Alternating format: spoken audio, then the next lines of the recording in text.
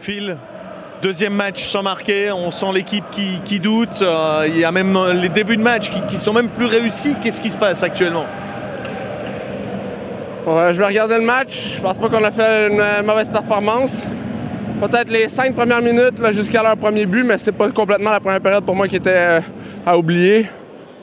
Faut trouver le fond du filet, hein, c'est ça le but du jeu, donc euh, si on le fait pas, ça va être difficile. Cinq défaites, on peut parler d'un début de crise au HCR c'est sûr qu'on aurait espéré et pensé meilleur. Je pense que l'effort est là.